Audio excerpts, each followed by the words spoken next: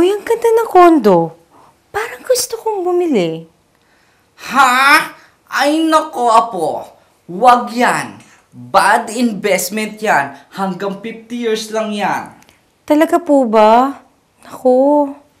Oo, wag yan, Drea. Sa una lang maganda yan. Tapos magde-deprive ng value pag tumagal. Para mga lalaki lang din yan. Hala. Eh, halos ka presyo lang ng house and lot sa may Cavite eh. House and lot na lang. Safe pa. Tumataas pa ang value. Naku. Up, up, up, up, up. Want to invest in condominiums but you're not sure about all these problems? Hi, my name is Jay, and today we're gonna help you out to answer all these problems. And together, we can prove if condominiums are safe. Stay tuned. So, sir, hanggang 50 lang ba talaga? You see, the answer to that, Drea, can either be yes or no, depending on you and all the other unit owners of that particular condominium. Pero, mawala ba talaga ang investment mo after 50 years? Definitely no. Now, let me explain. You see, when you buy a condominium here in the Philippines, you automatically become a member of a association. Most commonly known as the Homeowners Association, in this case, Condo Unit Owners Association. Now, what will happen really in 50 years is decided by a vote.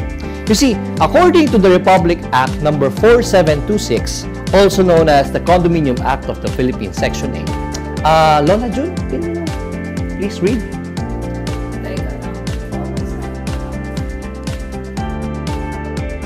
Section 8.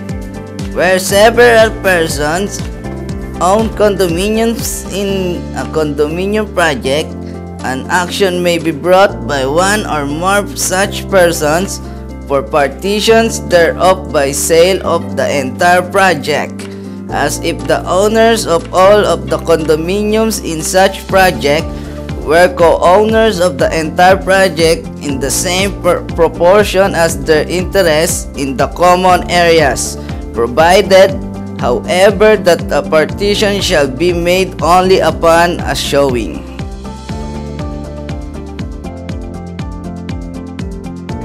Thank you, Lola. Thank you. Thank you. So, sa madaling sabi, any unit owner in that particular condominium can bring up a notion to sell the entire project, of course subject to voting. If and only if every single one of those condo unit owners will be considered as a stockholder depending on the size of their property. If one of the following conditions has been met, which I will continue to discuss later on, but for now I'll give you an example.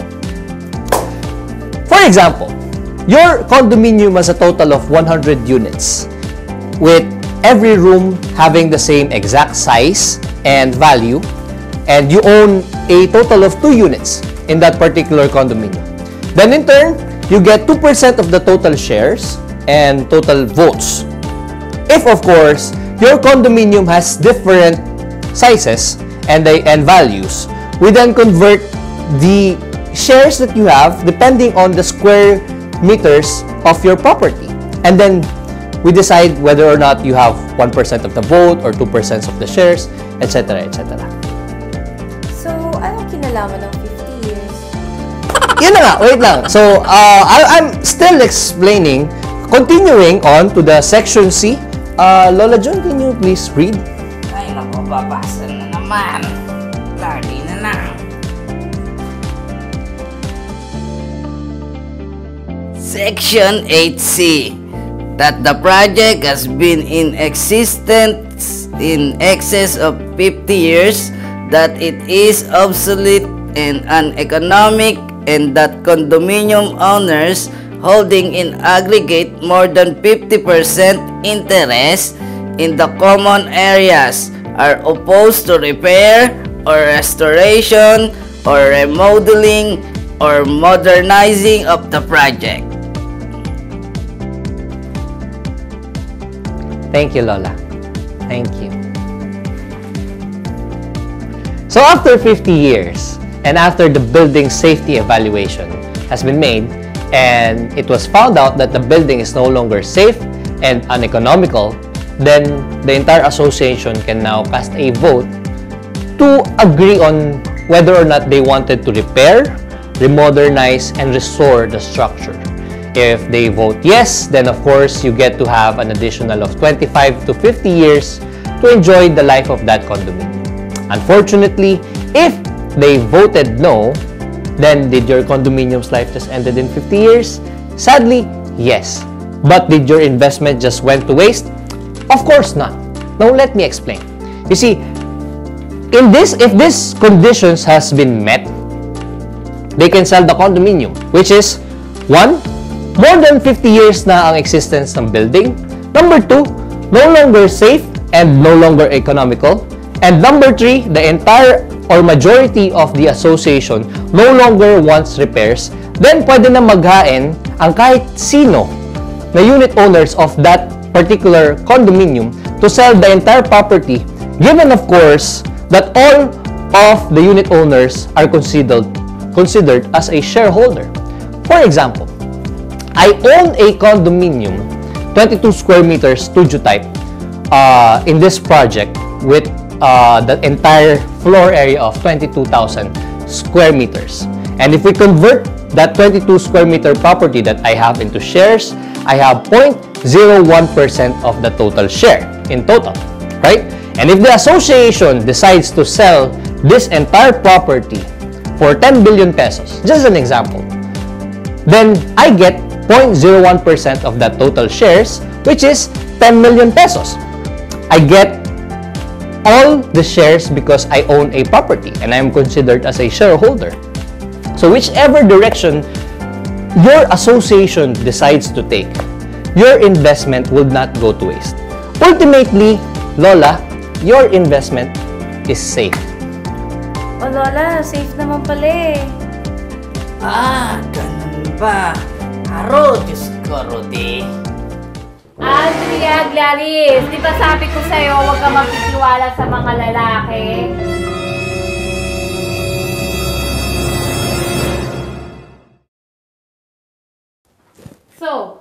Ibig sabihin?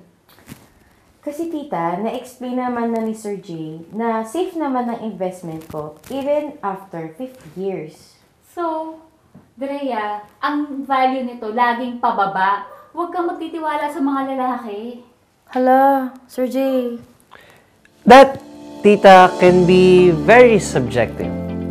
You see, majority of the time, condominiums are built around center business districts and prime locations, making the demand very high. And most of the time, these condominiums are being sold at a very affordable price during its pre-selling years. Meaning, tita, hindi pa nakatayo yung tower, is binibenta na yung mga units at a very, very flexible payment terms. So, ang daming nakaka-afford, the tendency is, ang bilis na sold out ng mga units. Even hi- kahit hindi pa gawa yung tower. And once na nagawa na yung tower, and it's already sold out, the demand in the market can be very crazy, especially when they see that there is a condominium in nearby their workplace. So making it a ve- very big factor to affect that your initial investment can go up to double or triple once that property is already built. So I'm very confident, Tita, that your property is not gonna go down in value. Ay nako, kahit na. Mahirap nang sumugal. Papresyo lang ng house and lot namin yan sa Cavite. Um, it's true that house and lot are a very safe place to invest your money, but I doubt that your money could grow as fast as it did when it comes to your condominium property that you bought during its pre-selling years. If you don't mind me asking, Tito, ah, saan ka ba nagtatrabaho? Ay naku, hindi nga nagtatrabaho yan. Ah, how about you, Tita? Saan ka nagtatrabaho? Sa Quezon City, bakit? And you go home every single day sa Cavite? Of course. Okay. Uh, if you don't mind me, Tita, making this as an example, uh, as I said before, condominiums are built around center business districts and prime locations. So, most likely, there are lots of condominiums in Quezon City that Tita could have availed in the past rather than a house and lot. So, for example, Tita's life. Every day, Tita goes from Cavite to Quezon City to work and let's say it's two hours every single day which I'm being kind in the computation to be honest because two hours without traffic and we know that in the Philippines traffic is always happening right but yeah let's say two hours every day papunta ng Quezon City and two more hours pauwi ng Cavite so every day that's four hours of Tita's life forever wasted because of travel. Four hours of her life where she could have actually spent with her job, overtime, other tasks, Tita's passion, exercise, fitness, education, etc. But most importantly, family. And let's move more forward in the future. And for example, you guys had kids and that kid is already going to college. And because of that decision you made to purchase a house in Cavite and work in Quezon City, that kid would have inherited the bad decision that you made and would have lost four hours of his or her life spent in travel. Four hours that he or she could have spent to her craft, to his passion, sports, his project, studying, but most importantly, family. Right? And who knows? If kumuha kayo ng condominium before near your work, you could have spent so much more time with your family. Who knows? You guys might still be married. Ikaw, habang ako nagtatrabaho, nagbabanat ng buto, wala ka nang ginawa kundi puro pang babae. Pasensya na po. Lagi po kasi talaga silang nagagawa eh.